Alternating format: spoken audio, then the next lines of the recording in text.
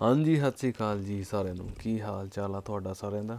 ਅੱਜ ਅਸੀਂ ਬਹੁਤ ਹੀ ਦਿਨਾਂ ਤੋਂ ਬਾਅਦ ਸਾਨੂੰ ਬਹੁਤ ਸਾਰੇ ਬਾਈਆਂ ਨੇ ਮੈਸੇਜ ਕੀਤੇ। ਇੱਕ ਪਾਕਿਸਤਾਨੀ ਵੀਰ ਜੀ ਨੇ, ਉਹਨਾਂ ਨੇ ਵੀ ਸਾਨੂੰ ਸਪੈਸ਼ਲ ਮੈਸੇਜ ਕੀਤਾ ਹੈ ਕਿ ਪਤੈਂਤੇ ਏਐਮ ਜਿਹੜਾ ਹੁੰਦਾ ਮੋਟੋਰੀਨੋ ਦਾ। ਅਗਰ ਤੁਸੀਂ ਮੋਟੋਰੀਨੋ ਜਿਹੜਾ ਮੋਟੋਰੀਨੋ ਵਾਲਾ ਜਿਹੜਾ ਅਗਰ ਤੁਸੀਂ ਕਰਾਉਣਾ ਕਰਾ ਸਕਦੇ ਆ, ਤਾਂ ਜ਼ਰੂਰ ਕਰਾਓ। ਚਲੋ ਠੀਕ ਹੈ ਜੀ, ਜ਼ਰੂਰ ਟਰਾਈ ਕਰਾਂਗੇ।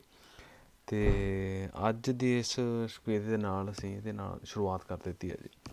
ਅਤੇ ਬਾਕੀ ਦੇਖੋ ਜੀ ਕਿੱਦਾਂ ਦਾ।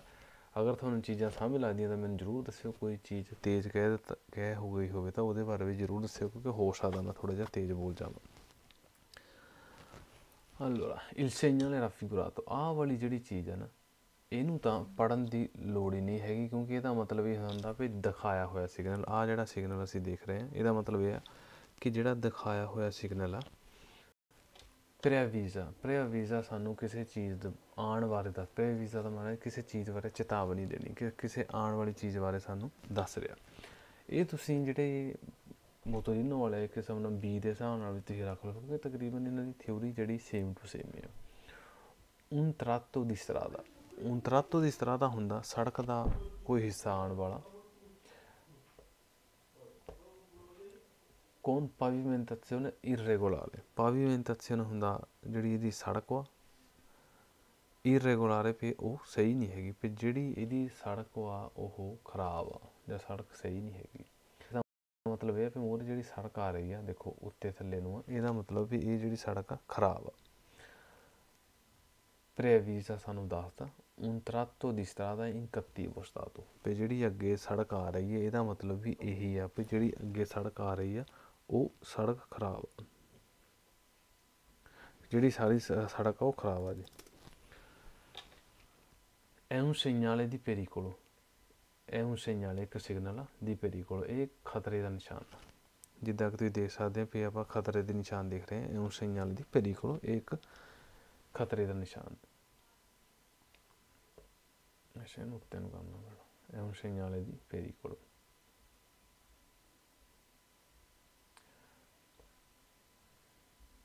previsa ਸਾਨੂੰ ਦੱਸਦਾ ਉਹਨਾਂ una discesa pericolosa.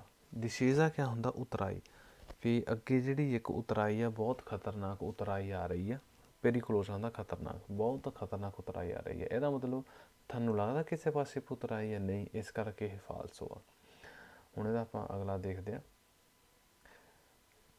ਪ੍ਰੈਵੀਜ਼ਾ una serie di curve. ਕੂਰਵੇ ਕੀ ਹੁੰਦੇ ਆ ਜੀ ਕੂਰਵੇ ਹੁੰਦੇ ਆ ਮੋੜ ਸੱਜੇ ਨੂੰ ਖੱਬੇ ਨੂੰ ਸੱਜੇ ਨੂੰ ਖੱਬੇ ਨੂੰ ਇਸ ਹਿਸਾਬ ਨਾਲ ਤੇ ਇਹਦੇ ਵਿੱਚ ਕੋਈ ਮੋੜ ਨਹੀਂ ਹੈਗਾ, ਇਸ ਕਰਕੇ ਇਹ ਫਾਲਸ ਹੋ ਜਾਂਦਾ ਕੂਰਬੇ ਨਹੀਂ ਹੈਗੇ। ਪ੍ਰੈਵੀਜ਼ਾ una doppia cu- curva ਕੂਰਵਾ। ਹੁੰਦਾ ਮੋੜ, ਉਹ ਵੀ ਹੁੰਦਾ ਡਬਲ ਮੋੜ ਪੇ ਦੋ ਵਾਰ ਮੋੜ ਆ ਰਿਹਾ। ਇਸ ਕਰਕੇ ਇਹ ਇਹ ਵੀ ਫਾਲਸ ਹੋ ਜਾਂਦਾ ਹੈ ਜੀ। ਤੇ ਇਸ ਹਿਸਾਬ ਨਾਲ ਤੁਸੀਂ ਦੇਖਿਆ ਵੀ ਬਹੁਤ ਇੰਨਾ ਔਖਾ ਨਹੀਂ ਹੈਗਾ ਇਹ।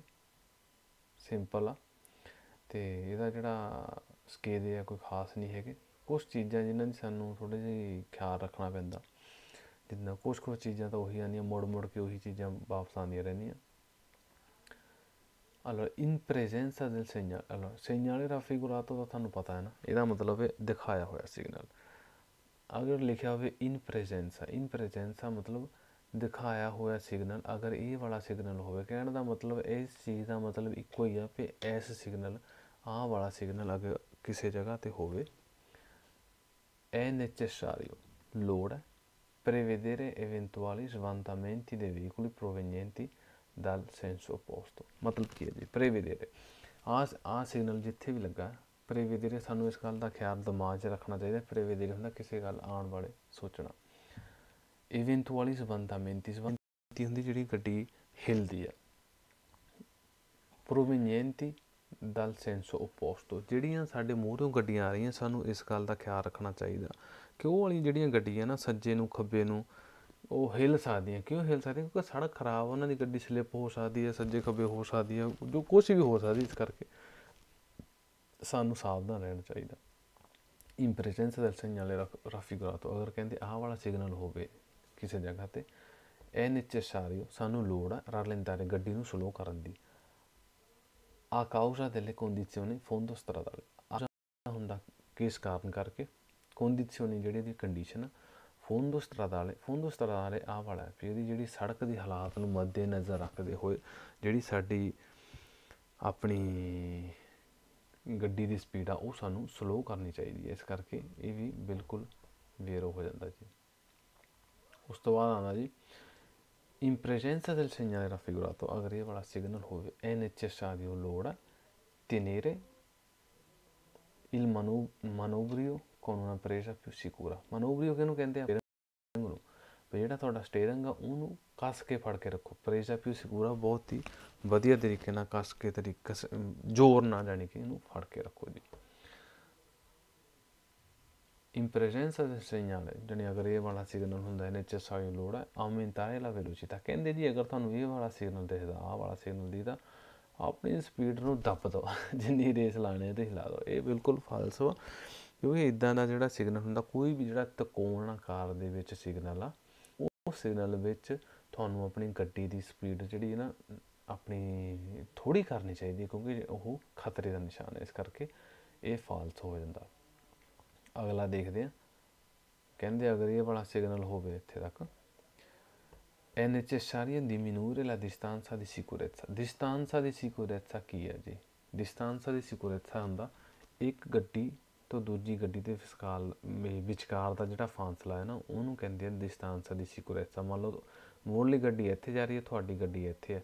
ਤੇ ਇਸ ਗੱਡੀ ਦੇ ਵਿੱਚ ਜੇ ਜਿੰਨੇ ਟਾਈਮ ਤੁਸੀਂ ਬ੍ਰੇਕ ਲਾਣੀ ਹੈ ਮੋੜਲੀ ਗੱਡੀ ਨੇ ਬ੍ਰੇਕ ਲਾਤੀ ਤੁਸੀਂ ਉਨੀ ਉਸ ਤੋਂ ਦੂਰੀ ਰੱਖਣੀ ਹੈ ਵੀ ਉਹ ਬ੍ਰੇਕ ਮਾਰੇ, ਤੁਸੀਂ ਬ੍ਰੇਕ ਮਾਰੋ, ਤੁਹਾਡੀ ਗੱਡੀ ਉਹਦੇ ਵਿੱਚ ਨਾ ਵੱਜੇ।